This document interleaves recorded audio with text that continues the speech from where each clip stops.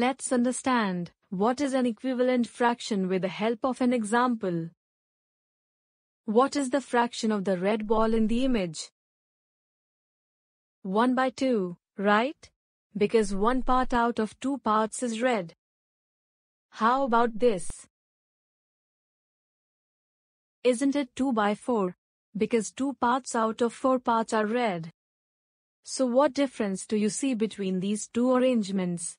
There is no difference.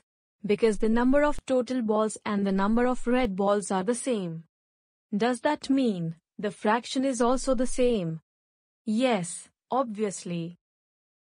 These two fractions are called equivalent fractions because they represent the same part of the whole. You can easily find out the equivalent fractions by multiplying or dividing by the same number in the numerator and denominator.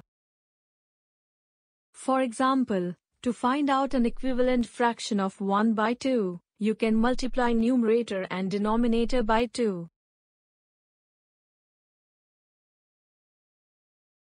Hence 2 by 4 is the equivalent fraction of 1 by 2. Similarly, to find the equivalent fraction of 3 by 6, just divide numerator and denominator by the same number, 3. The equivalent fraction of 3 by 6 is 1 by 2. To check if two fractions are equivalent or not, we can use the cross product. We know that 1 by 2 and 2 by 4 are the equivalent fractions. How about 2 by 9 and 4 by 18?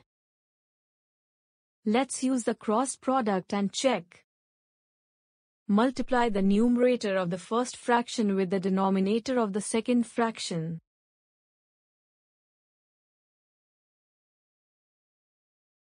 Similarly, multiply the denominator of the first fraction with the numerator of the second fraction. The cross products are the same. Hence the fractions are equivalent fractions. How about 1 by 3 and 2 by 7? Let's check. Multiply 1 and 7. The product is 7. Then multiply 2 and 3. The product is 6. Cross products are not equal. Hence, 1 by 3 and 2 by 7 are not equivalent fractions.